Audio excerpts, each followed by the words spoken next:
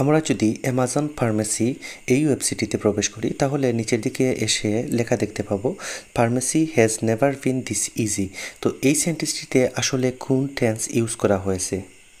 আর এই সেন্টেন্সটির অর্থই বা কী দাঁড়ায়? তো আমরা আসলে একটু দেখি। এখানে আমরা লক্ষ্য করলে দেখতে পাবো যে ফার্মেসি এখানে সাবজেক্ট হিসাবে আছে, আর হ্যাজ হ্যাজ তারপর বিন আছে।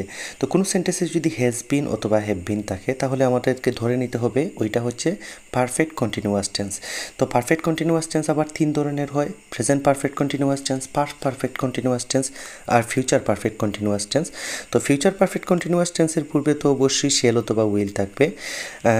আর পাস্ট পারফেক্ট কন্টিনিউয়াস টেন্সে হ্যাজটা হেড হয়ে যাবে। হেজটা হেড হয়ে যাবে। যদি এখানে লেখা থাকতো, pharmacy had never been this easy তাহলে এটা ছিল ফার্স্ট পারফেক্ট কন্টিনিউয়াস টেন্স মনে রাখবেন হ্যাজ বিন যদি থাকে কোনো সেন্টেন্সে তাহলে ওইটা পারফেক্ট কন্টিনিউয়াস টেন্স আর পারফেক্ট কন্টিনিউয়াস টেন্সের বাংলা অর্থটা এরকম দাঁড়ায় যে, অতীতে কোনো কাজ শুরু হয়ে এখনও পর্যন্ত চলতেছে এইরকম। তো তাদের সাইটে আসলে যে অফারটা তারা করে, যে তারা তিন দিনের ভিতরে বা দুই দিনের ভিতরে তারা যে কোনো মেডিসিন ডেলিভারি দেয়, তো এটা সকল ফার্মেসির জন্য ইজি ছিল না।